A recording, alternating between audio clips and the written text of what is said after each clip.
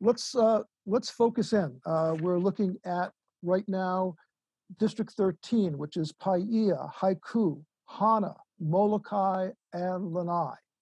Certainly a very big district. And uh, for our first interview, uh, we have Walter Ritte. And Sean Lester is going to start off by doing a little introduction, and then we'll go from there. Aloha kaku, Walter. Thank you for being here today.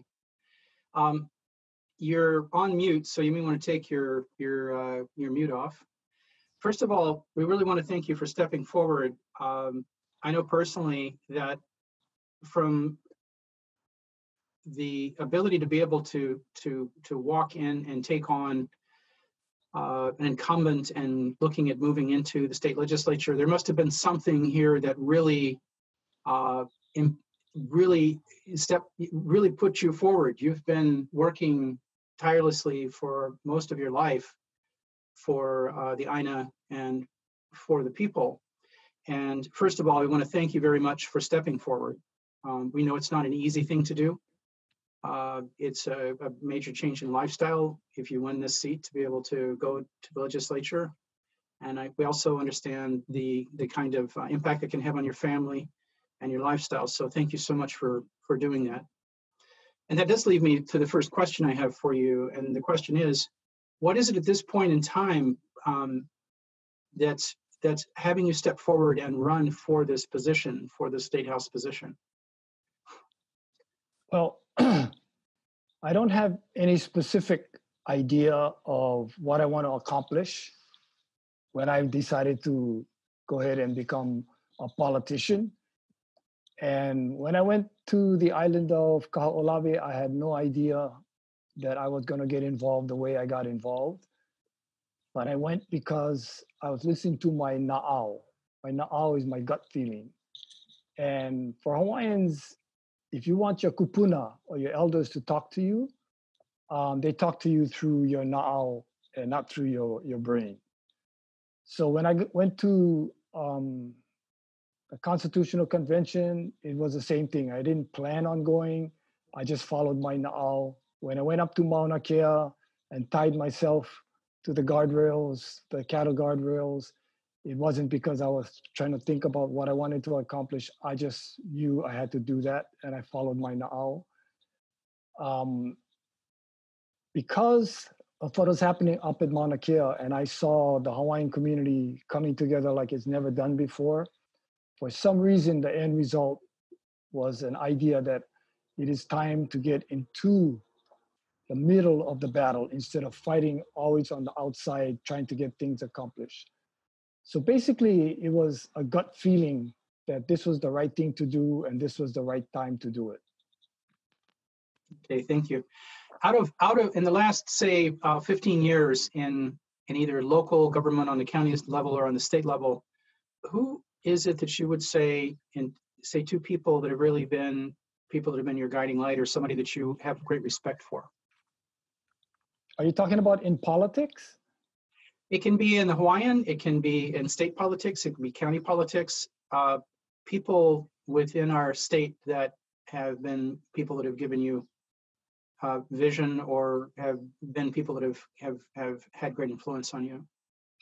Well, the thing that keeps me going is watching the young people mm. come up and take their positions.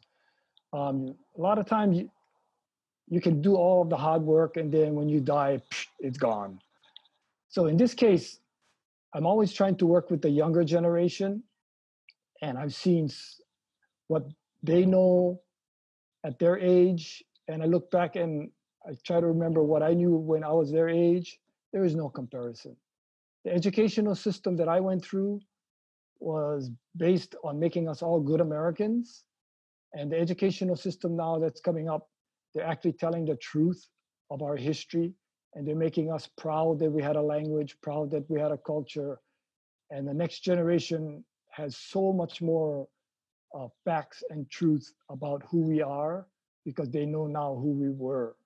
So for me, that's that's the driving force that keeps me going is to see that in the future there's going to be great accomplishments. I appreciate that. is there any particular part of the state constitution that you feel um, is uh, is is in need of of of uh, bolstering or or being held up? Is there some is there some part of it that you know that you see that's either been pushed aside or that really needs to be worked with in the legislature? Yeah, what what bothers me a lot is the Constitution says that the Office of Hawaiian Affairs will get 20% of all of the ceded land revenues. And the legislature decided uh, we're not going to do that. And they put a cap on it. And they on, OHA is only getting a fraction mm-hmm. of what the Constitution says they should get. So that's a signal to us as Hawaiians that we really don't have the manpower or the influence at our legislative level. And it's stopping us from getting what our Constitution says we should be getting. And same with the Department of Hawaiian Homelands. In the Constitution, it spells out what funds, um, what things in homeland that needs to have funding. And I think there was a list of four things, and the legislature decided that they're only going to do one of those four. So mm-hmm. it's important for us as Hawaiians to get involved more in the local level at the legislature in order for us to get the things that we worked for in 1978 at the Constitutional Convention. So those are the, the main things that I have in mind in trying to figure out how do we get our legislative body to follow the laws of our Constitution. Okay, thank you very much. And with that, I will turn it over to Daniel. Aloha, Walter. Aloha. Thanks for showing up good to have a conversation with you. Um, you know, you you definitely have a, a history of community service, so um, I'm interested to hear your reflections. Let's start off with this question. As a public representative, it is a duty to face the truth and to act righteously. These islands reflect the lowest voter turnout in the United States. On May 15, 2019, Dr. David Keanu Sai gave a presentation to the Maui County Council evidencing the illegal overthrow of Queen Liliuokalani in 1893 and showing clear violation of domestic and international law with the ongoing illegal United States military occupation of the Kingdom of the Hawaiian Islands. As a candidate for public representation, how do you rectify handling the truth of Dr. Sai's presentation, as well as the works of Keamoku Kapu, Henry Noa, Amelia Gora, Bumpy Kanahele, Leon Siu, Dr. Desaias, Madame Ruth Bolame, the Ko Hawaii Pae Aina office in Hilo, etc. How do you rectify the compliance of the law and restoration of occupied lands? Yeah, what what these people are doing is they're trying to let people know what the truth is. So they're seeking the truth. And as Hawaiians, we've always been trying to seek the truth. And like I said earlier, um, the whole purpose after the overthrow was to make us good Americans. It was to denationalize the Hawaiian people. One of the first things they wanted to do was take away our language. And that was a statement that came, came out of the first president of Kamehameha schools. So it was a plan. Um, it was planned that they were going to make sure that all of the Hawaiian became Americanized, and we're denationalized. So what we're, what we're seeing happening now is that out of the University of Hawaii, some of those names that you mentioned, they all got their degrees and their PhDs, and they know what the truth is. So now their job is to go out and educate the public and to even, like Keanu Sai did, educate the government. Him going to the Maui County Council was a huge step because he's telling the council that you are based on an illegal action done since 1893. And that is the first step in making things right here in Hawaii is to first tell the truth and then figure out how do you solve the problem of rectifying the truth. So he's not only telling people the truth, but he's also saying this is how you solve the problem. And it's no different than people who went to Japan after the bombing of Nagasaki and Hiroshima. They went there and they signed over after seven years of negotiations, they signed the country back over to them, and it's called deoccupation.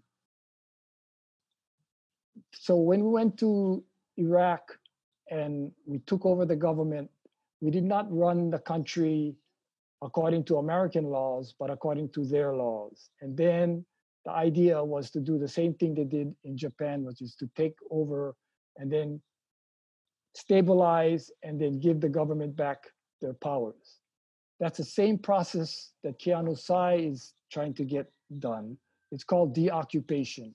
And it's something that the international community understands, and they do that all the time. So the idea is to get international community to realize that Hawaii is occupied according to international law. And that's the process that is going on right now. And it's a complicated process, and it's a process that takes a lot of learning and trust. And us as Hawaiians, we're going to have to learn how to live our lives knowing that truth. All right, mahalo, Walter. I'm going to pass Okay. a, a question on to the next, and I'll come back with more.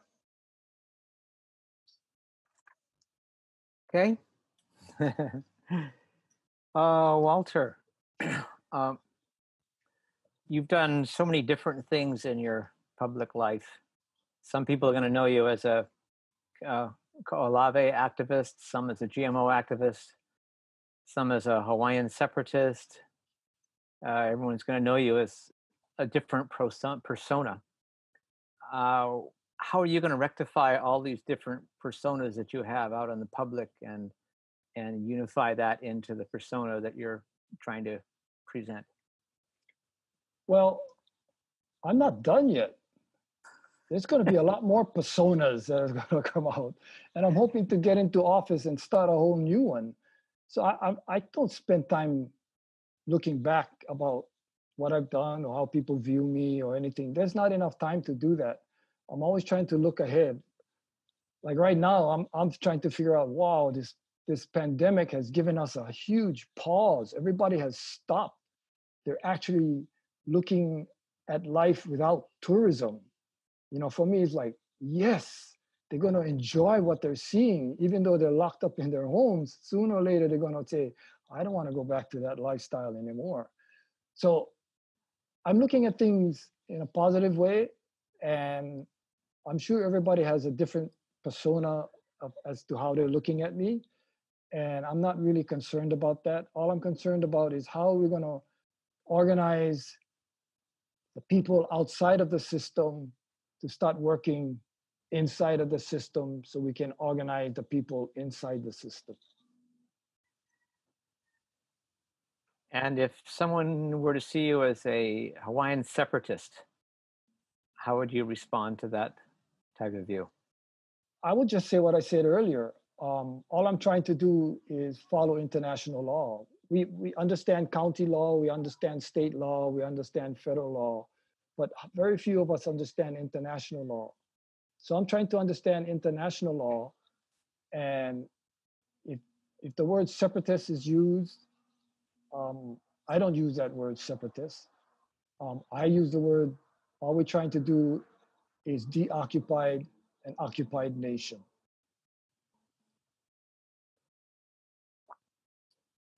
thank you and um, how um, how would you say what what qualifies you for office in the state legislature if someone asks what are your qualifications what qualifies you for this type of job what would be your response Um, I have no idea.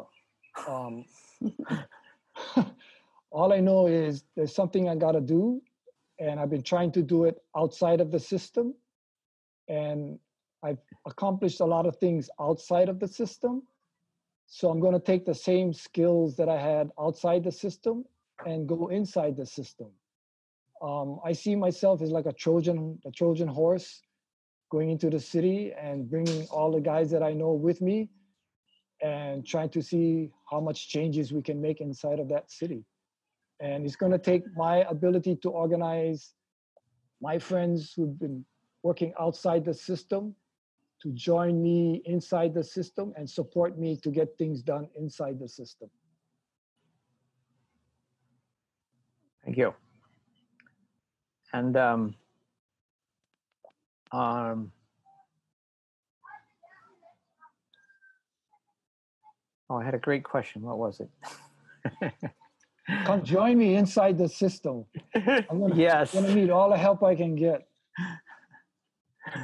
So uh, Okay. With let that, I'll let me- pass. Let me, let me jump in here, Bruce, then, and then we'll have Laura. Um, A question, uh, Walter, about the situation around water, certainly the lifeblood of the Aina. And uh, a- a question I have is, do you see a necessity for full financial disclosure and transparency for members of the Board of Land and Natural Resources who effectively make decisions involving hundreds of millions of dollars of natural resources often for the benefit of private business interests? Uh, and, and they're volunteers, uh, supposedly. So if elected, what would you do to bring about the needed changes around this whole issue uh, and the governance by this board? Well, it's re- it's really obvious um, because we're in a situation now um, where we're beginning to recognize that the system um, not only needs to be changed, but we're in a position now where we can change the system, and the system has it's it's it, it works for some people and it works for the people that has power and they use that power to take over the government via changing laws to allow them to even have more power. So that is happening at the federal level and it's also happening at the state level so the everyday person on the streets they're losing the ability to have a voice um, in that system and they have very little power now in that system. It's to a point where now they're pretty much fed up with that system, the way it's already set up. Um, you can go and testify to you blue in the face, and they give you three minutes, and then their lobbyists come in every day and they take them to lunch and they spend all the time in their offices. That system is totally set up for the very powerful to get what they want and for the people on the streets and the everyday person to have a very small voice in the government. So when I go in there, I'm going to try and figure out how to bring people with me. If I'm going to say I want to accomplish X, I'm going to make sure all the people that I've worked with all of these years come and support me on X. And I'm going to have to make sure that they all agree that X is what we want to accomplish and then come in as a group to accomplish what we want to accomplish. Otherwise, we're blowing smoke and it's not getting done and it's not working. And I feel that I can go in there. The only problem I'm going to have is I don't know how the people who are already in there are going to view myself. If they view me as a threat, I'm going to have a hard time. So I'm going to try and figure out how not to be a threat. And the only way I can figure out how not to be a threat is to make sure that I can have a huge organized bunch of people that are willing to even get arrested in order to get X done. So somehow figure out how to manage that system by organizing. I, I understand, Walter. Again, I think I, you know, in terms of systemic change and really going about looking at how we can really shift this dynamic that's been so corrupt for so long for so many issues, not everything, but a lot of issues. Uh, again, going back to the Board of Land and Natural Resources, they seem to be a kingpin in terms of uh, the management of our resources. Um, what are, are, is there anything specific? I, I hear about organizing and getting people, the community engaged and knowledgeable and have them participate uh, is there any specific thing that you would do to help create a shift within that board that is presently existing? Well, one of the low hanging fruit uh, regarding DLNR is the fact that we went out after, I don't know, four or five years of organizing, and we created what they call the Ahamoku. The Ahamoku is created by state law, and the law says that this group of people are going to be the advisors for environmental um, issues to DLNR. So that took a lot of work. The problem was DLNR decided that they were going to ignore us. And not only ignore us, but corrupt us. And just yesterday, there were hearings at Water and Land. The governor, all of a sudden, after three years of doing nothing, decides he's going to appoint the people that represent each of the islands in this advisory group by law. And the law is very specific as to how you pick three names. Each island, AHA picks three names, gives it to the governor, and then the governor picks out of the three names. At the hearing, all of the names that the governor brought in, none of the AHAs knew about what was going on. And they were Molokai, we've sent in our three names two years ago and have been ignored.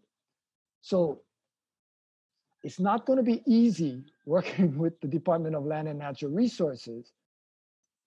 But that's one of the things that we're going to get straightened is we're going to give that that state law that gives us a voice that advises DLNR.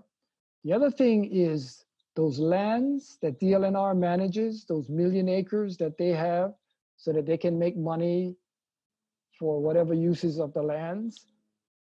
And those monies as I mentioned earlier, goes to the Office of Hawaiian Affairs and goes to Hawaiian Homes and all kinds of different things. The problem we have is that those lands, according to Keanu Sai and others, those are those so-called ceded lands are illegal lands and the, the Hawaiians are now making a big push to either get a huge portion of those lands or to get those lands back. Those were the government lands for the Hawaii um, in the Hawaiian Kingdom. So those are just two ways of us putting pressure on DLNR um, to make better use of the lands and for us as Hawaiians to have a voice on the DLNR board. The existing law says that there should be a Hawaiian voice on the DLNR board for Hawaiian issues to be heard. And lo and behold, they pick a non Hawaiian to represent that seat. So we're pretty much irritated to the max about how DLNR is running their show. And at first, we used to go to the legislature and say, 1% of the budget is not enough for them to take care of our resources. Give them more money so we can give our resources. We're losing our fish. We're screwing up our, our mountain resources. They're not getting enough rainwater. All those kinds of issues that we care about. We were saying, give them more money. Last year, they go to the legislature and ask for a million dollars to buy more rifles and guns to fight the Hawaiians because the Hawaiians were getting too boisterous and aggressive in what they feel should be done with those lands. So it's a really technical and difficult situation, but it's a high priority on my list and a high priority for Hawaiians to rectify those DLNR lands so that number one, we protect them for the future generations, and number two, that it's used in a proper way. Great. Thank you, Walter, for that, for that insight and going into the detail. Yeah, Uh, sorry uh, it took so long. folks. No, no, no, this is, no. this- this, this is what this is about and getting into this Yep. type of insight. So uh, Laura, uh, you'll be next. Uh, Okay, thank you. Hi, Walter. Aloha. So, hi.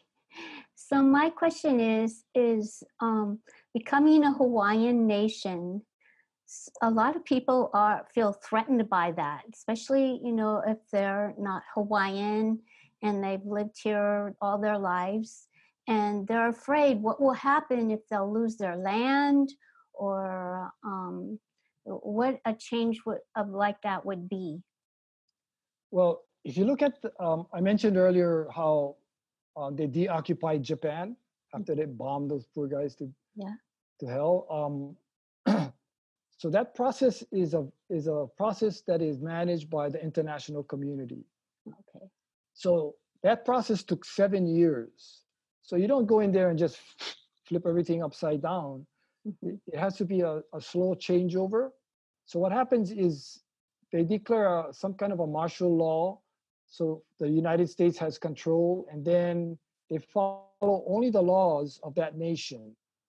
So if Hawaii was to denationalize or deoccupy, rather, um, we would we would have to follow international law and the international process.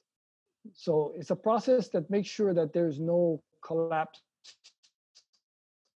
existing system.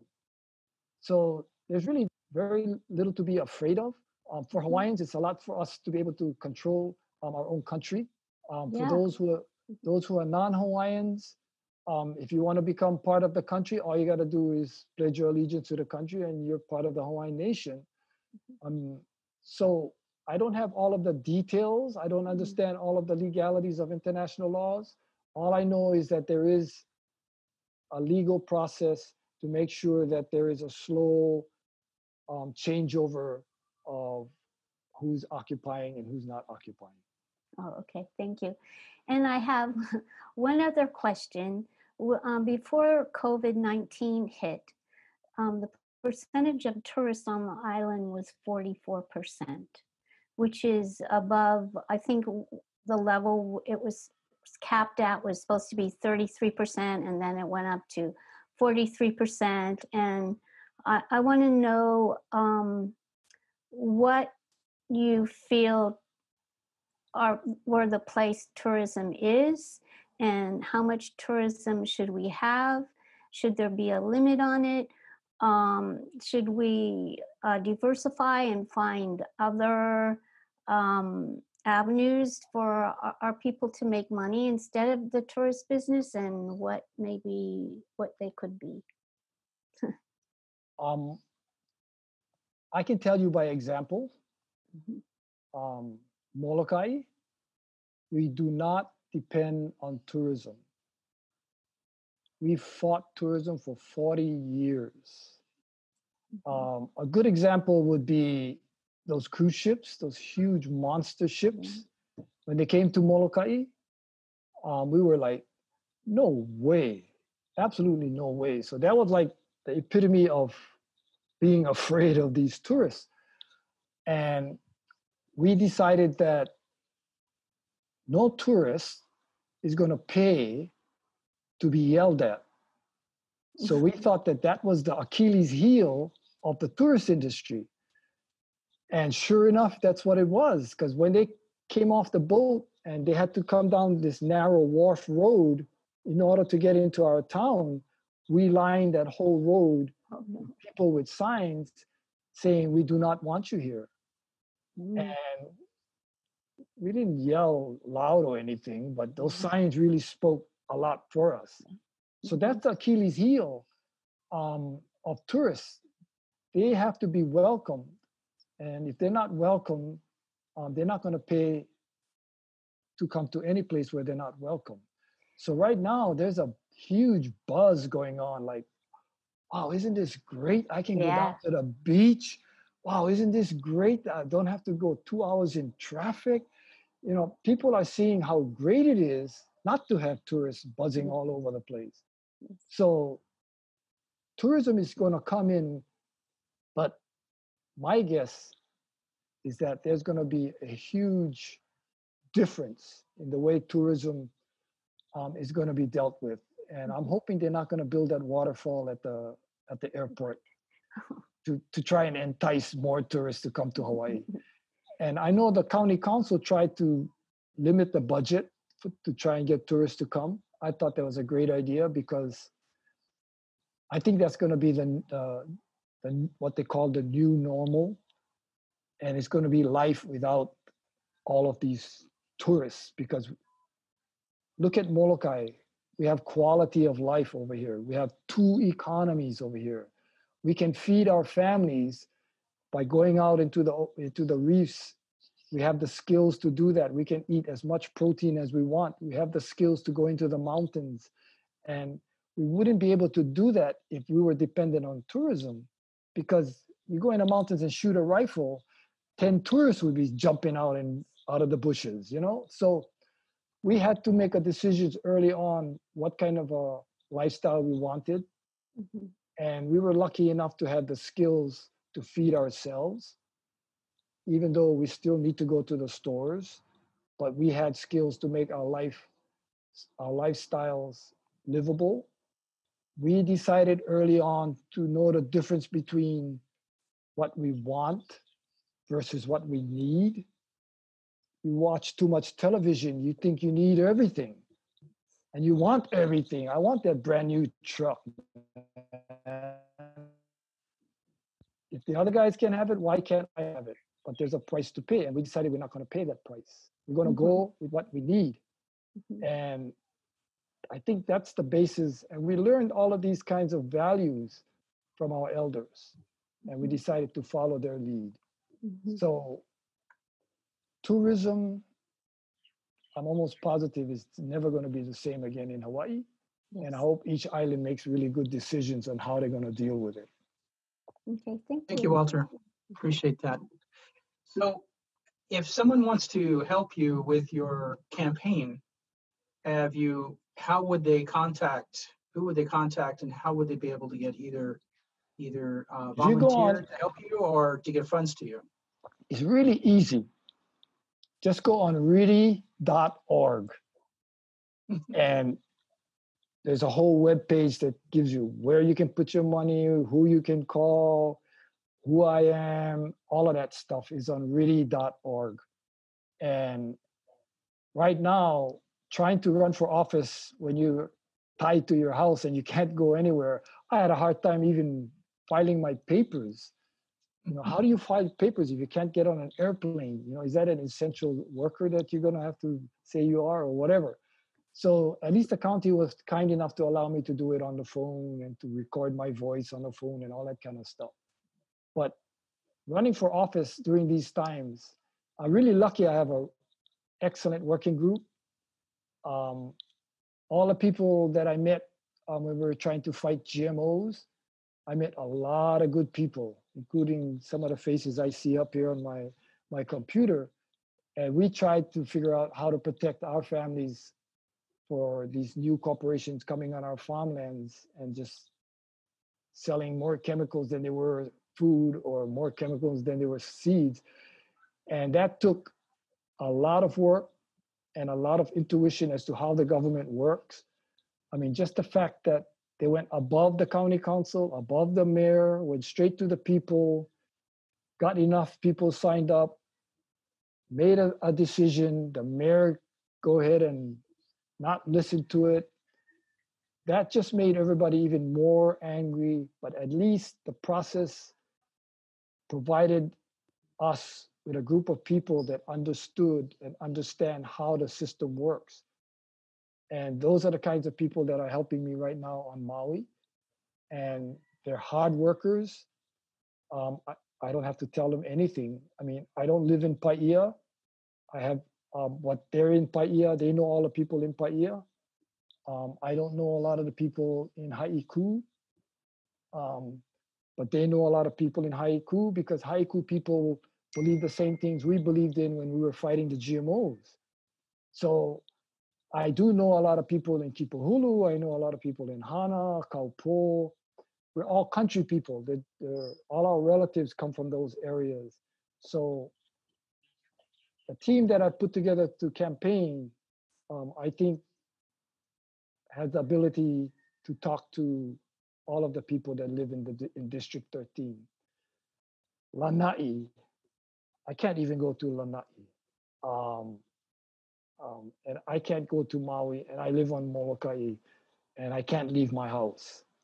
So the incumbent is like way ahead in this game, and we have to struggle to figure out how we're going to get up to that level of recognition that the incumbent has, and she doesn't even have to leave her house.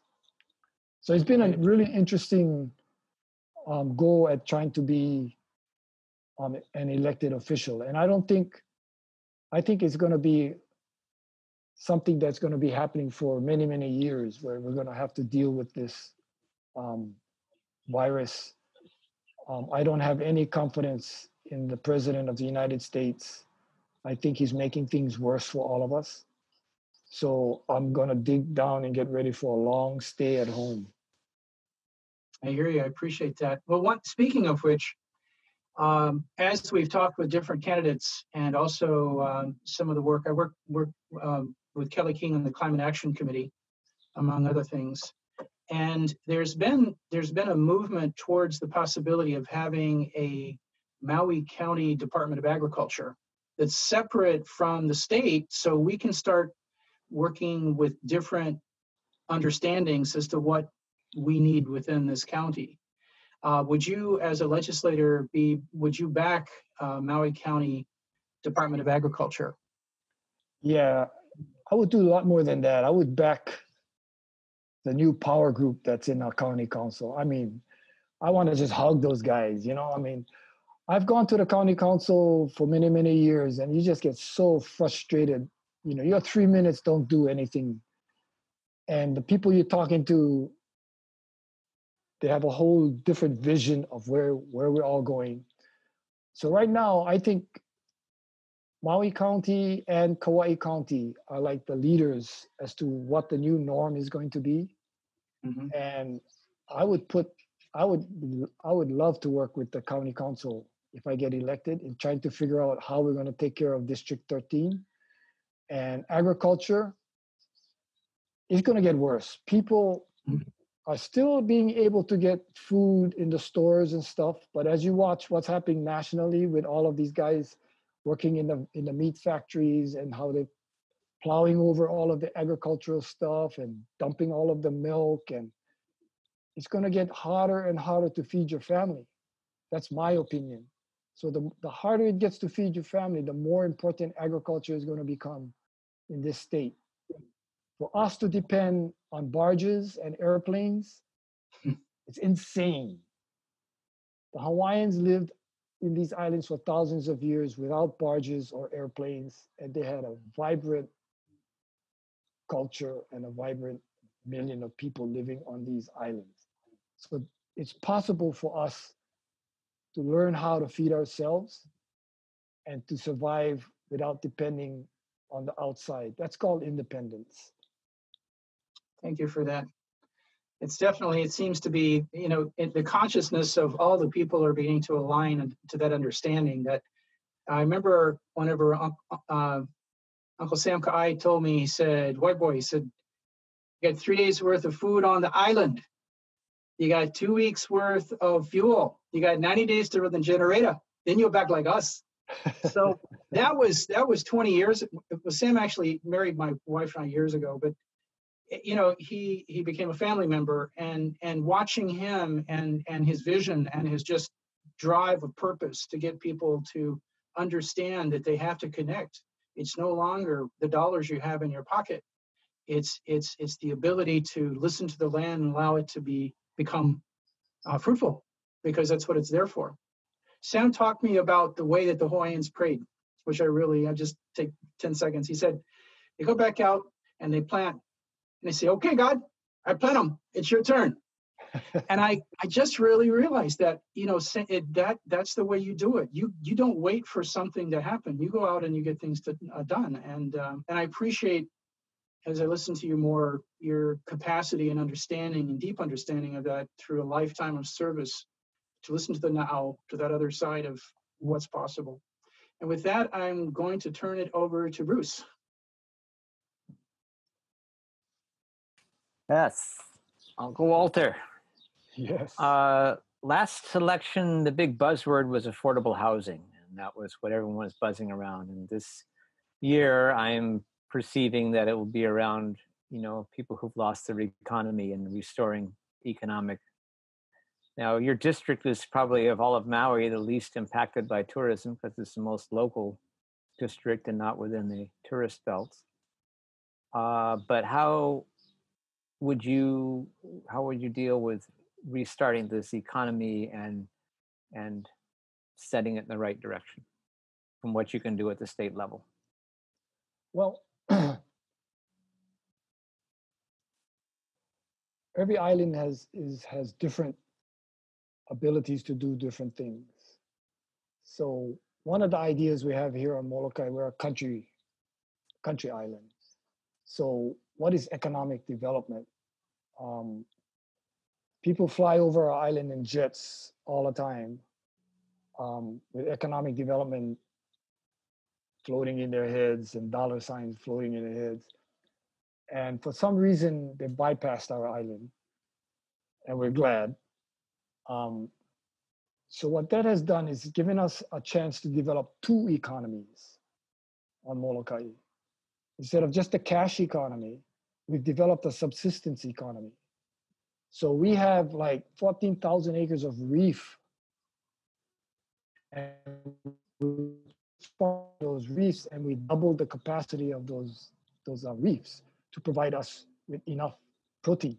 And all you had to do was have the skills to walk on that reef or to go on that reef and to get that protein. And we still have those skills. On the north shore of our island, we have these cliffs. Next, and in between the cliffs are these valleys. And this is where our kupuna, our elders went first. They didn't go to the dry side where there was no water. They were that stupid. They went into the valleys where there were rivers of pristine rivers with millions. Each of our rivers in the valleys on Molokai, between two and five million gallons a day flow through those rivers. And you can still drink those, wat- those waters today. From one wall to the other wall is infrastructure. They're terra terraces, intact, untouched, ready to be worked. The problem was in the 1840s, we had these diseases like we're having right now, came and decimated the Hawaiian community. We went from 900,000 to a million people, all the way down to like 40,000 people. Total decimation. We lost our workforce for these fish ponds. We lost our workers for the for the valleys and all of the taro and starches that were produced. But the infrastructure is still there. So our idea is in order for us to get to the future we want, we need to look back and see what happened in the past to guide us into the future. And that's what we're doing on Molokai. And that's what the whole world is beginning to see that you need indigenous cultures to guide your future economics. Because you gave it to the extraction guys and they've extracted to the max point where the mother earth is kicking back and kicking your ass hard enough to wake you up that you cannot keep extracting extracting extracting. Somehow it has to be reversed. And that's where the hawaiians come in and their culture they consider themselves part of the land. They are the land. The land is them. The land is the chief. You have to make sure that the future generations have everything that is given to us today belongs to them. Those kinds of values allow everlasting life. So that's the kind of values that the Hawaiians can bring to the table independence, and able to make sure your future generations can live here forever.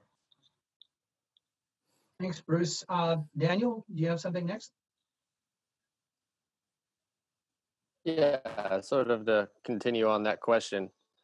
Um, you know, you spoke a bit about these these two economies, this cash and this subsistence from the Aina itself.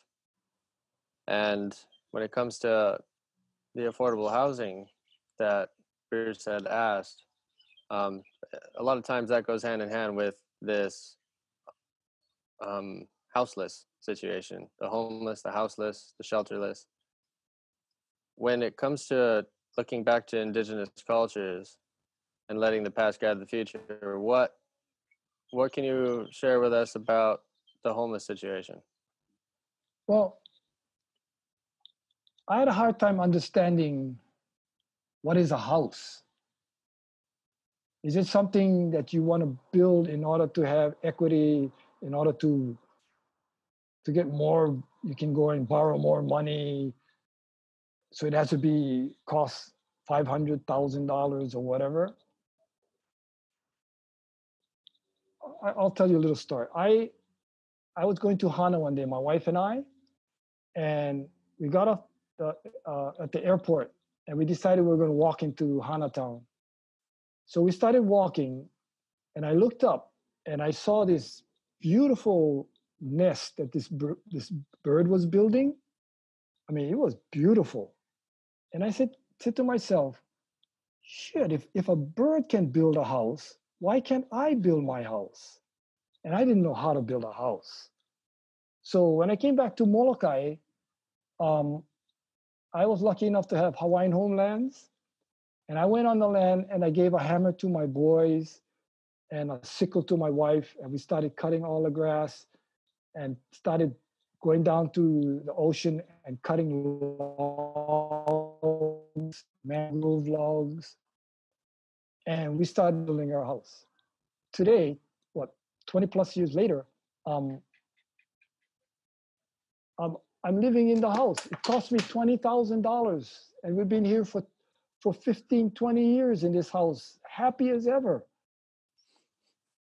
I wanted a house. I didn't want some elaborate thing that I'm going to be in debt for the rest of my life. I had that opportunity, but I decided no, I'm going to live in a simple house. So for me, that's that's how I understand housing. And I don't understand the complexities of how all the developers build all these units all together in one place. And I don't understand all of that. But somehow we got to redefine what a house is and build things that people can actually afford and are willing to live in. Otherwise, I don't understand how we're going to solve the problem. All I know is that for Hawaiians, we have little under 200,000 acres for the Department of Hawaiian Homelands. And a huge amount of people that are now on the streets are Hawaiians. And we have all of this land, and yet the Hawaiians are on the streets. So we go back to the constitutional mandate. They're not giving OHA the 20%, and OHA could use that 20% to make sure that people get houses on Hawaiian homelands because we already have 200,000 acres. So those are some of the things I hope we can solve in order to help resolve this housing problem. Um, on Molokai, we do not have a homeless problem. We got a couple guys without a house, but they live with, with families. So I don't have a specific answer, but I have some idea. Oh, that was that was that, that was a great answer. Mahalo for that. And I saw that Paul had Paul have something to add on to that. Okay.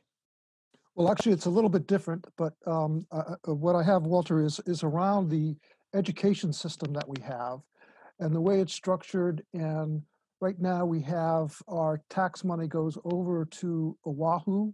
Our education system is Oahu centric.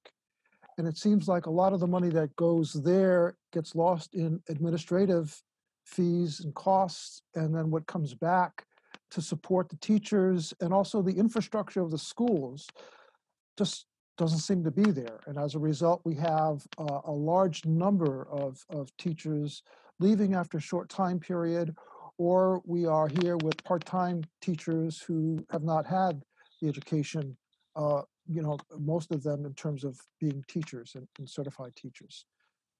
What's your stance on how to deal with this Oahu- Oahu-centric system and is there alternatives that you would suggest? Well, what scared the hell out of me was when the governor said that in order to solve the problem, the pandemic budget problem, is we're going to cut the, the pay of the teachers. That was like the first round of, of gunfire coming out of out of the government was against the teachers. And to me, the teachers got to realize that, holy crap, we're, we're the first in line to get cut here. So for me, education is the is absolute must. We there's many many problems um, with the educational system, and the teachers have a union. Um, they're organized, but they're not appreciated. For us as Hawaiians, in order for us to have a better future, we need to educate the whole state of Hawaii about how we were nationalized. Denationalization is going to be important. How we were Americanized, how we were told that the Hawaiians had a, a culture that was pagan and we threw people in the volcanoes and we were pagans and all this kind of stuff. That was part of our educational system. So we have to figure out how to get control over that system in order to get the truth out. So education becomes really, really important if we're going to go where we need to go. So when I was growing up here on Molokai, I was a basketball coach, I was a volleyball coach, I was a teacher. I spent two years um, with all of the kids that were dropping through the net and going into the streets. Um, we organized all of the elementary schools here on Molokai to come together for makahiki games instead of only playing basketball and baseball. And for 40 years, it's the greatest event, the biggest event on Molokai, because all of the schools have to have go through a whole process for a month and a half to find out their champions in each of the schools, in each of the grades, and then send those champions over to the event that we hold once a year that took a lot of organizing within the school system. So I know we can we can organize the school system to get what we want.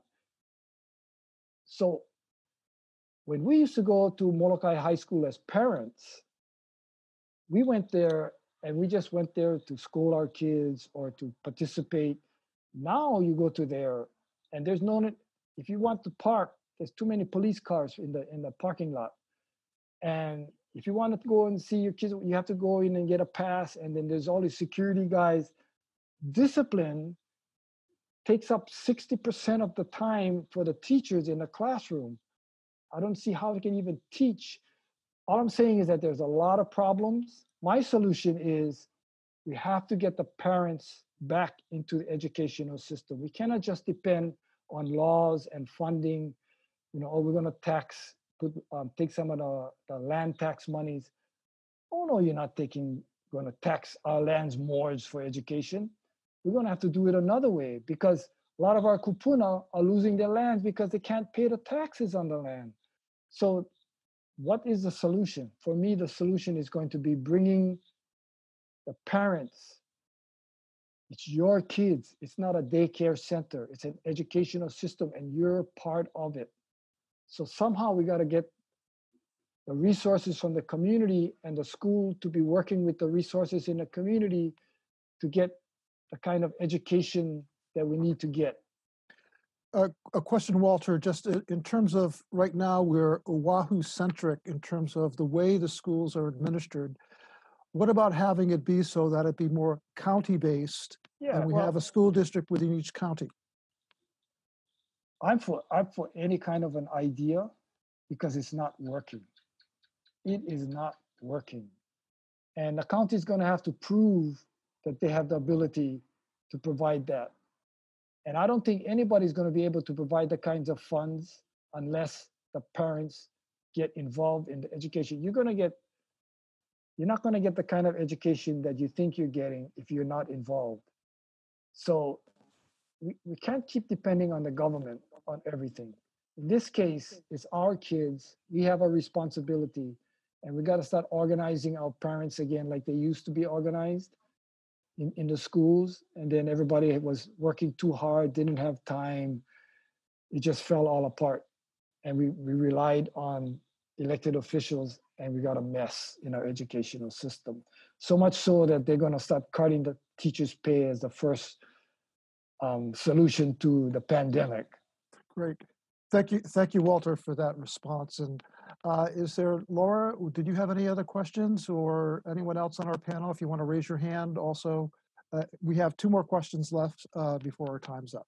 Okay.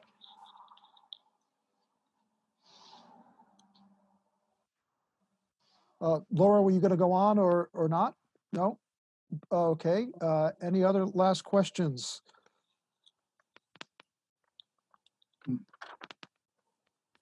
I think I think Walter said it all. I mean, the, one thing the one thing Walter is that um, you know I'm humbled by listening to you. We've I've, I've had over 20 years of, of interviewing people, hundreds of people for um, county, state, um, and local government, and um, there's a certain point where you understand that that there are people that that really, in my this is just my opinion, that, that need to be part of the part of the dialogue because they bring such an extraordinary amount of, of understanding to that dialogue. Um, and I really do appreciate you stepping forward at this time. I think the timing is impeccable. I think uh, the, the, the, the, place that you're running for is, is very, very important. And um, I look forward to this, you know, few weeks of race that, that, that are set up, you know, between now and when the Democratic uh, whenever they when people have a chance to uh, to vote. So thank you very much for your time, and I'll turn it over to anybody else. Bruce, go ahead.